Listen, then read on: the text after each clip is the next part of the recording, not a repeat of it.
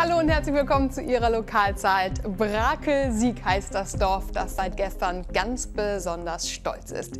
Denn Frank-Walter Steinmeier kommt ja von dort. Brakel-Sieg liegt in Lippe, genau in der Mitte zwischen Schieder und Schwalenberg. Wir haben heute am Tag 1 nach der Wahl des früheren rechten Verteidigers des TUS Brakel-Sieg zum Bundespräsidenten seine alte Heimat. Seine Mutter für die gesamte Familie von Frank-Walter Steinmeier war das ein außergewöhnlich aufregendes Wochenende. Auch für seinen Bruder, die Schwägerin und seine Nichte. Sie alle waren nämlich mit nach Berlin gereist, um den großen Tag gemeinsam zu erleben. Bereits Samstagabend waren sie auf einer SPD-Party, Sonntagmorgen dann Frühstück bei Frank-Walter Steinmeier und seiner Frau.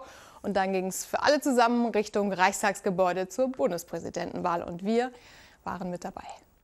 Die Eckhard von Hirschhausen lieben, dann haben wir jetzt was für Sie. Wir sind am Donnerstag beim Auftritt des beliebten Kabarettisten in Minden mit dabei und zwei unserer Zuschauer sind ebenfalls zur Show eingeladen und dürfen ihn sogar persönlich treffen. Also, wenn Sie ihm gerne mal die Hand schütteln möchten, dann schreiben Sie uns einfach bis morgen Mittag 12 Uhr eine E-Mail an das studio.bielefeld.wdr.de und vielleicht sind Sie dann ja mit dabei. Ich wünsche Ihnen auf jeden Fall ganz viel Glück.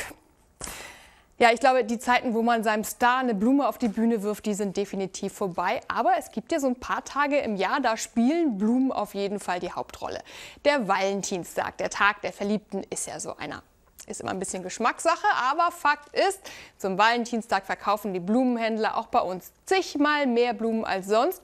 Und deshalb sind sie am Vortag entsprechend beschäftigt erstmal nicht mehr. So, und hier haben wir nochmal die E-Mail-Adresse für Sie, studio.bielefeld.wdr.de. Schreiben Sie uns gerne bis morgen Mittag 12 Uhr, wenn Sie Dr. Eckhard von Hirschhausen gerne mal persönlich treffen möchten. Meine Daumen sind gedrückt. Mehr dazu dann bei uns in der Sendung am Donnerstagabend. Ihnen jetzt erstmal einen schönen Abend und tschüss bis morgen.